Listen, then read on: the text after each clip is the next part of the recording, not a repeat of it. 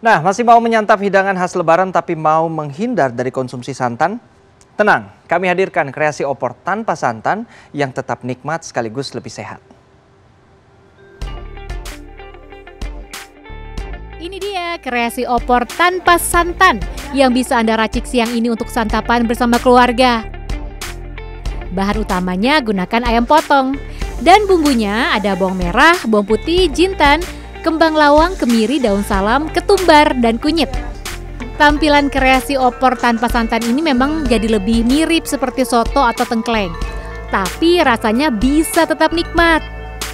Sebagai pelengkap sajian opor, jangan lupa buat juga acar ketimun yang segar. Kita tahu sendiri kalau santan ini kan mengandung kolesterol, ada minyaknya. Nah, seperti itu. Bahkan uh, kalau misalnya pakai santan kan ini kayak ngurangin gitu ya. Kemarin kita udah puasa 30 hari udah detox lah istilahnya. Terus masa kita lebaran jadi kalap makan santan-santan yang banyak. Ini kan jadi ngerusak badan kita lagi itu lebih baik ya kalau bisa tanpa santan mending tanpa santan. Konsumsi santan dalam santapan sehari-hari sebenarnya cukup aman, asal tidak berlebihan.